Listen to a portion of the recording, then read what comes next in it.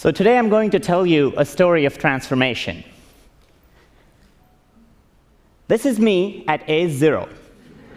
I didn't look very interesting, but in a very short time, I went through a complete transformation and turned into what morphological form I have legs and hands, and actually functional. Everything that we know about developmental biology and developmental diseases, including human diseases, has been found by actually looking at embryos transforming. When people see these images, they use words like flow of form and push and pull of forces. This is called embryonic development. But today, I'm going to tell you about a process that I think is far more exciting than embryonic development itself.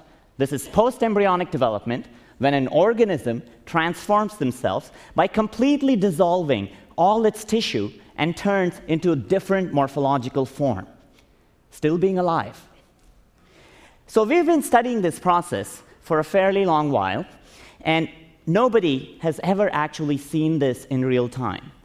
As a surprise, even though metamorphosis seems to be a very delicate process, 80% of all insect species show complete metamorphosis. So you would ask, why? It turns out, in the language of evolution, metamorphosis allow juveniles to not compete with their adults. Remember, caterpillars feed on leaves, and butterflies fly around.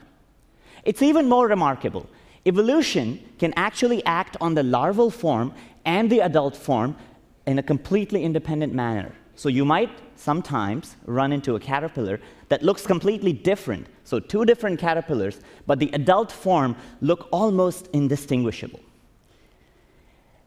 I find these structures enigmatic. You can walk into a museum and you will never see pupal structures because they're harder to collect and they're actually transient in time. I want to imagine how would you actually transform such a form? And the only way to do this was to be able to peer inside. If you look inside, statically, by cutting them open, you notice the architecture is completely different. So when you have a hard problem, you look at this wise man, and he said uh, something which I find really funny. It is very easy to answer many of these fundamental biological questions. You just look at the damn thing. And so that's what we did. We figured out a way to build soft X ray microscopes that can actually visualize inside these tissue structures. And this was an accidental discovery for me. This is a jittery view, but I wanted to show this movie because this was the very first time I had a moment of discovery. So I'll share that with you. Bear with me. Watch right in the center somewhere there. This is a fly larva developing. And right there, something happened. Do you see a big, giant white circle? That's a gas bubble. That's a gas bubble that nucleates inside this pupal structure. So I thought, huh, you know, this is late night. I should go back, look at it tomorrow. It turns out all species of flies that we actually look at have these gas bubbles. They appear exactly at the same place and exactly at the same time, which is quite puzzling.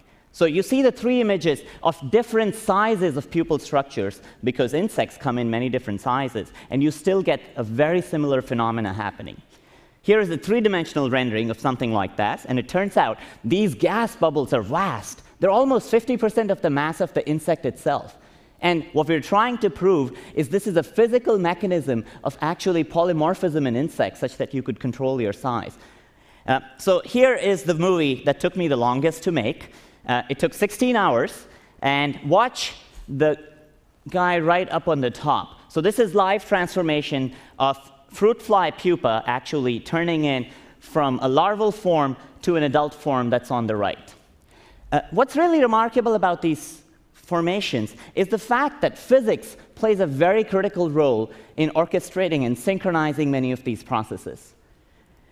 So when you think about this cavitation, um, I want to do a very quick demo. How many of you have cracked your knuckles before? Can you do one quick crack for me? You heard that sound? That's a cavitation bubble right in your knuckles.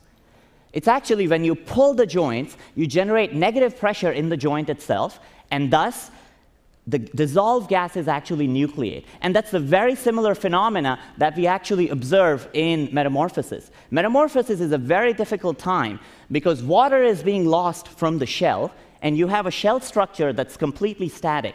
So a negative pressure develops, and most of the tissue actually develops in this negative pressure. And for it to crush itself, uh, it has a strategy, and the strategy is to nucleate a bubble. So I'm going to leave you with this one final thought.